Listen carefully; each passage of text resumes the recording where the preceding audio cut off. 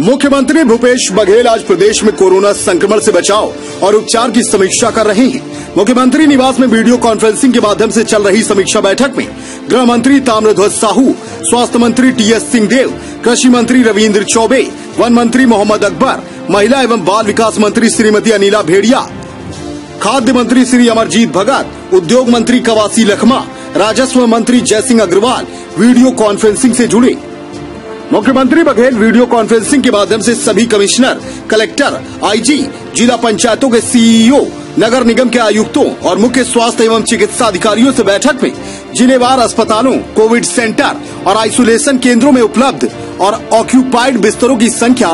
Symptomatic और asymptomatic मरीजों की संख्या, जिलेवार प्रतिदिन औसत टेस्ट क्षमता, जाँच रिपोर्ट में लगने वाले समय, रैपिड टेस्ट और आरटीपीसीआर टेस्ट की संख्या, पिछले सात दिनों का दैनिक विवरण दोनों प्रकार के टेस्टों के परिणामों, ऑक्सीमीटर की उपलब्धता, आवश्यक दवाओं की उपलब्धता, आईसीयू और वेंटिलेटर की उपलब्धता, कंट्रोल रूम और हेल्पलाइन की कार्य प्रणाली की जानकारी ले रहे हैं। Bureau report, Samay news.